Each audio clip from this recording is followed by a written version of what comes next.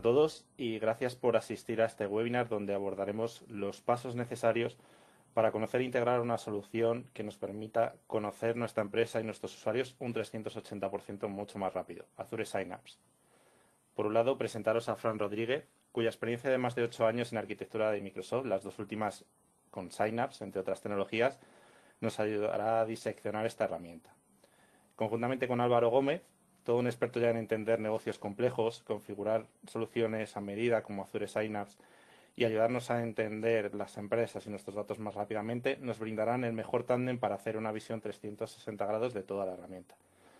Por otro lado, autopresentarme. Me llamo Diego Muñoz y soy el responsable del área de datos y inteligencia artificial de Prodware, donde una de las áreas de dedicación es ayudar a las empresas y a vosotros como clientes en evolucionar hacia un ecosistema data driven utilizando herramientas para comprender vuestros datos y vuestros insights como hacer Synapse.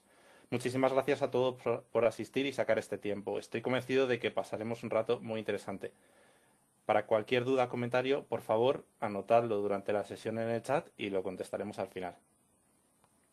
Os presentamos la agenda que queremos que nos acompañéis durante el día de hoy. Primero veremos qué es Azure Synapse, qué es, cómo beneficia y qué gano en una arquitectura Synapse y data tradicional.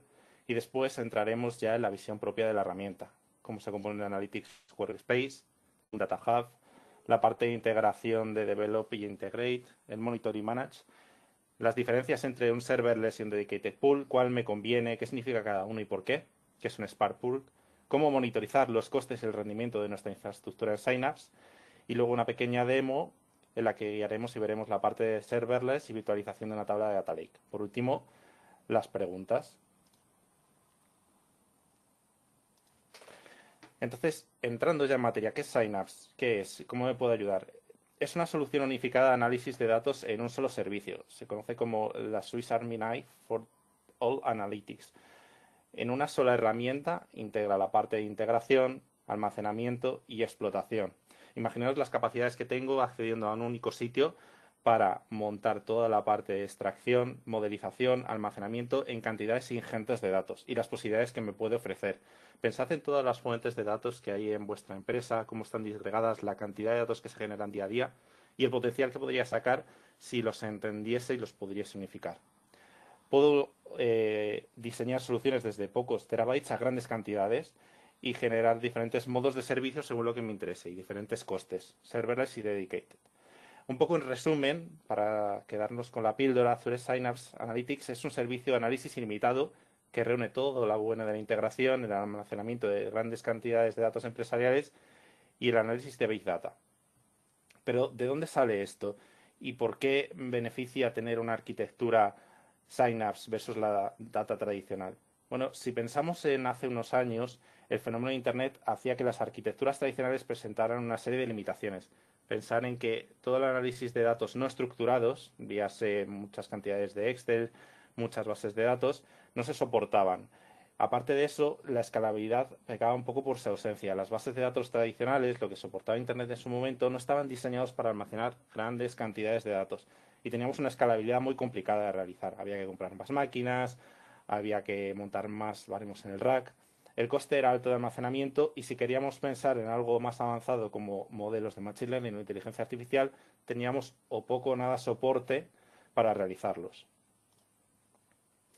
Los primeros Data Warehouse, pensad, que datan de 1980 y surgió de la necesidad de las empresas de tomar decisiones en base a sus datos de entonces y tenerlos unificados. Desde 1980 ha llovido mucho Imaginad cómo ha crecido las empresas, los volúmenes de datos que se generan día a día, desde que se levantan una empresa hasta que va pasando el día y lo que podríamos hacer si las analizamos.